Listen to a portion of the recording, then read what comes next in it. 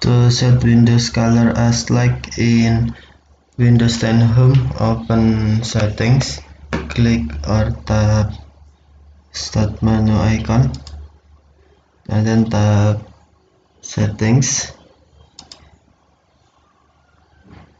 Select Personalization.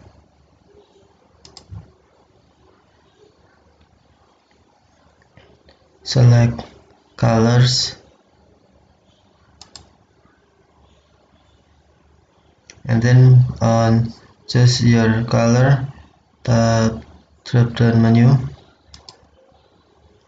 And then select light.